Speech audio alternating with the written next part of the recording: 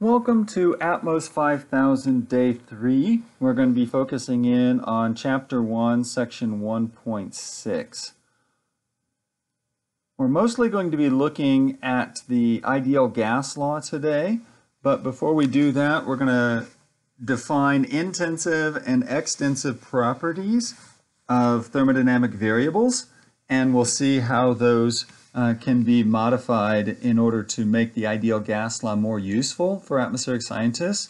Specifically, we're going to be uh, developing an ideal gas law specifically for dry air, specifically for water vapor, and specifically for moist air, which is a combination of dry air and water vapor.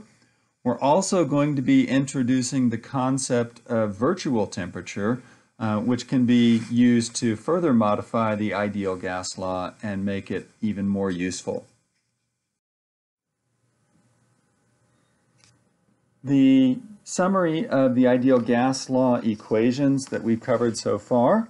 Uh, the first one is the generic ideal gas law, which you learned in chemistry. PV equals N R star T, where N is the number of moles, R star is the universal gas constant, and T is temperature.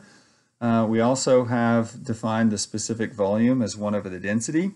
And then we have the ideal gas law for dry air.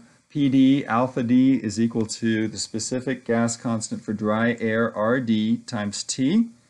And then we have the ideal gas law for water vapor, which is E, which is your water vapor pressure, times alpha V, which is the specific volume of the water vapor is equal to R sub V, which is the specific gas constant for water vapor, times temperature.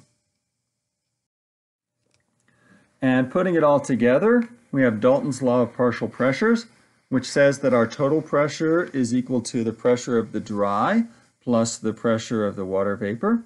And then we have the most useful form of the ideal gas law for moist air, which says that the total pressure times the specific volume of the total mixture is equal to the gas constant for dry air times the virtual temperature, and we've defined the virtual temperature as a, a temperature adjustment uh, that would make the density of the air parcel correct uh, for using the dry gas constant. And the virtual temperature 1 plus A, which is a constant, times R, which is the mixing ratio, the water vapor mixing ratio, which is defined down below here as well.